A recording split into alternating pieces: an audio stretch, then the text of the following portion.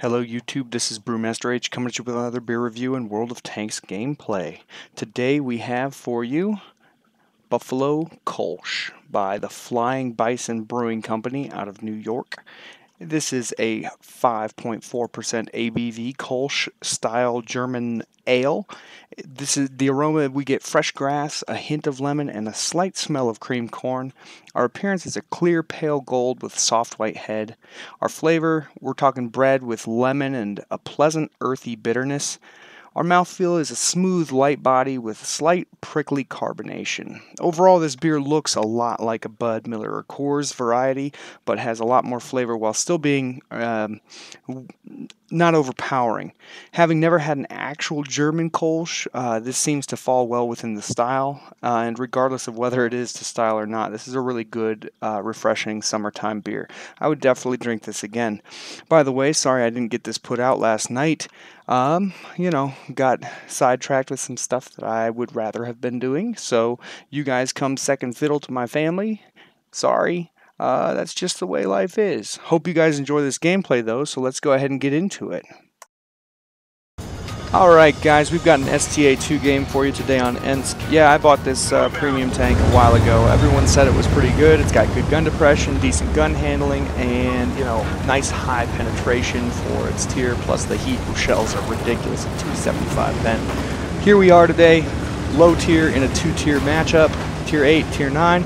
I'm trying to push across the side. I spot this 1390 and I think better of it. Think maybe I can get a shot into him, but nope, he's behind a building. Pull back because I don't want to get shot. Just take a take a cursory shot there into the middle and see what I can do. Our T, uh, their 295 is spotted. We've got a whole bunch of guys just kind of camping base back here, and I'm probably going to do the same thing because I'm low tier. I don't want to get shot twice by that T, T95 and dead. So I'm going to see if I can maybe run over here and help a little bit in the city.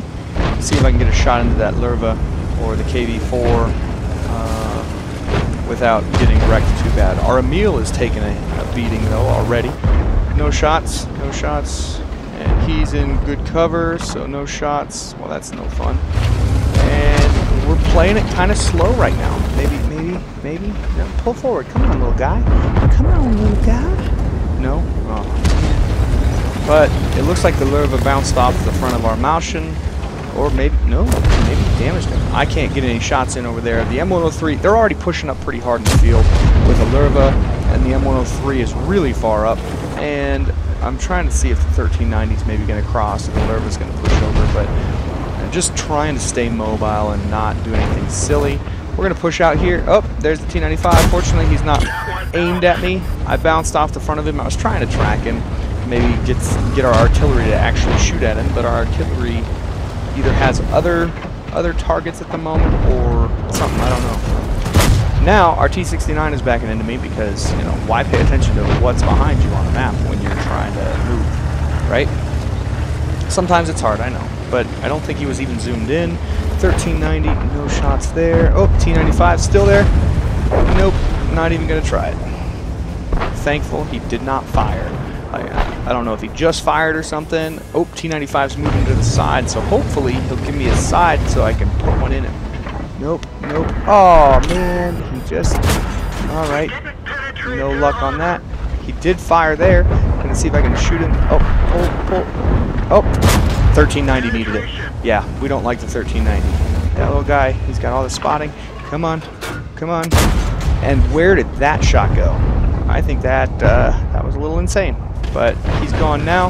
No shots on him, so that's bad. We're just going to play it patient. WZ132 is having his own problems with the M103. I don't even notice that FU4202. Look at me, look at me, just being a moron. Hey, wait.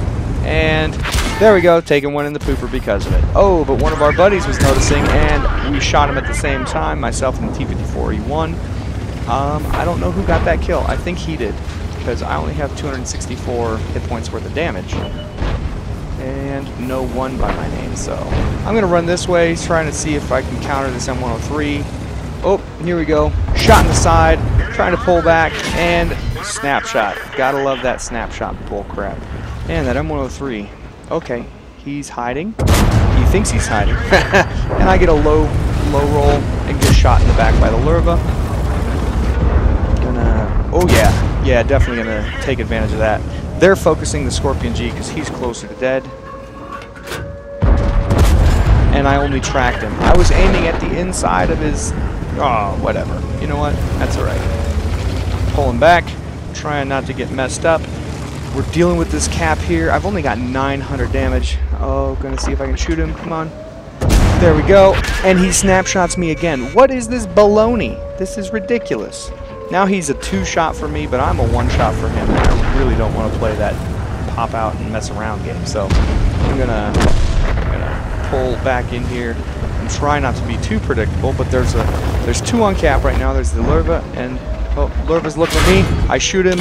I tracked him and damaged him, but he hit me as well. And now I'm on 42 hit points. Awesome. Not really where I want to be, so I'm going to pull back a little further and let these other guys start taking some of these hits. I have done some good job resetting. Let's see. Nope. T-54E1 getting in my way, and he moves up. Wait, I'm going to... And he backs up into me, so he's blocking me like a genius. I don't know how to do this. I don't...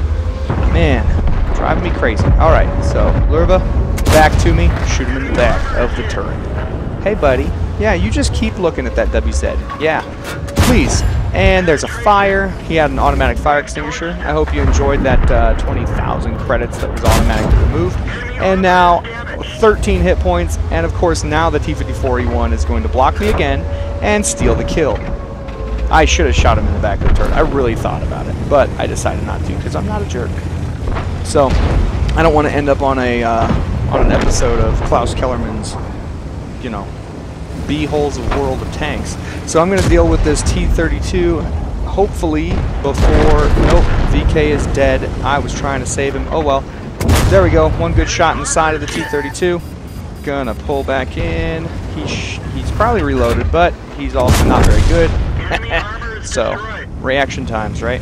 And now I know that Super Pershing's got to be coming for me. So I'm going to back up and use this other lane to get out of the way hopefully not get myself shot in the back by that Super Pershing. Fortunately, I am significantly quicker than he is, and our Maushin has moved up to counter the Super Pershing. So here he is. He's We've set a trap for him. He's following me. Boom. I'm moving over this way to try. it, here we go. There's a shot. I shouldn't have backed up. I should have kept going straight because then I would have had the building in between us. But I'm dead. But our Maushin is still alive. We've got our T-54E1 and our WZ-132. And I'm watching the WZ because the Maushin should have no problem with that. And look at this. He bounces out and bounces one off the T-95, who ignores him because he knows the T-54E1 has an autoloader and will be shooting him in a second. There we go. A nice shot. Tracking shot. T-54 is a one shot for that T-95, but apparently he's not smart enough to flank I'm trying to tell him, hey, T-54E1, don't go in front. Pay attention. Maybe if you go around the side because he's tracked and he can't move. But apparently he wants to deal with the frontal armor of a T-95 and he's going to try to bait a shot from this guy. T-95 is the last guy left. Maushin took care of the Super Pershing and apparently took care of also uh, what I believe was the other Lurva. There's the, there's the bait. He baited it out. And of course he's going to bounce. But being the kill-stealing turd that he is, he got the kill. So, good game though. Let's check out the stats. Here we go. So that was a first class mastery badge. It wasn't an ace, but it was real, really a decent, uh, a decent game, especially considering almost everybody on the enemy. Well, not almost everybody. Most of the guys that I actually went up against on the enemy team were tier nine. There were a couple of tier eights that I that I fought against actively, but you know, and one that allowed me to farm him like a son of a gun. But decent, decent bit of work done. So look at this. Third on damage done third Oh, wait, nope. Second on XP earned, so not too bad. Not too bad at all. 20 shots fired, 17 hit, only 13 penetrated. I was shooting at some toughly armored targets, especially the, the T95, uh, that M103. Uh, those are pretty good armor. And, uh, you know, surprisingly, the Lurva just gave me freebies. So that's what I took. Um, only 286 assistance damage, 6 damaged, 1 destroyed, so a lot of good work done. And playing these premium tanks, you know, you got that extra extra bonus on the credits and the XP, so 31,000 credits uh, that I made in profit, and almost 3,400 XP earned with the XP bonus and all that happy stuff. Kind of makes me wish I had been running a premium uh, account because man, it would have been 5k, uh, 5k credits earned and almost 60,000 credits of uh, or 5k XP earned, excuse me, and almost 60,000 credits of of um, of profit there. So I hope you guys enjoyed this game. It was it was a little bit slow at first, but uh, it worked its way up, and especially at the end there when I was only playing on 40 some odd hit points, I can't believe how much damage I did after being a one shot for every single person on the enemy team. It was kind of funny. So, it, like I said, hope you enjoyed. Please like, comment, and subscribe, and I'll catch you next time.